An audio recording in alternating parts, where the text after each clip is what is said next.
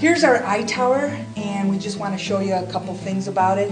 Uh, it's, it's a really one of our popular items, but we do get a lot of phone calls because people say it's not working. One of the things that you have to do, if you don't want to read the instructions, because we know a lot of people don't, is on the back, before you do anything, there's a little on-off sw switch. So you have to turn it to on. It's the only time you'll have to do that. Do that once, and then you're good to go. Now, what I did is you, you have a, a remote control, and I just put a little piece of Velcro. So now it sits right there, and whenever I want it, I can use it. So I'm going to just show you a couple things about it. I have an iPhone here. We just slide it in here.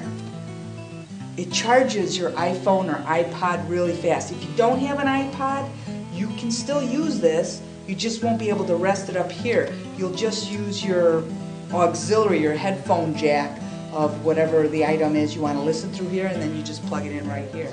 And uh, so you've got your remote, and you can function it. You can make it louder. One thing I noticed is you kind of have to point it down the bottom of the unit sometimes. It does work from far, but something if it's not, just point it to the bottom. Now this is Bette Midler. You know, depends on what you're. We can skip it to the next song. CeeLo Green. You can just go all different things. Uh, you can also operate it through. Turn the volume down. You can also operate it on here. You play your different playlists. Uh, again, I, I have the iPhone, so that's what I'm familiar with. But uh, you can just, and it, it sounds great. Let's see if we can actually hear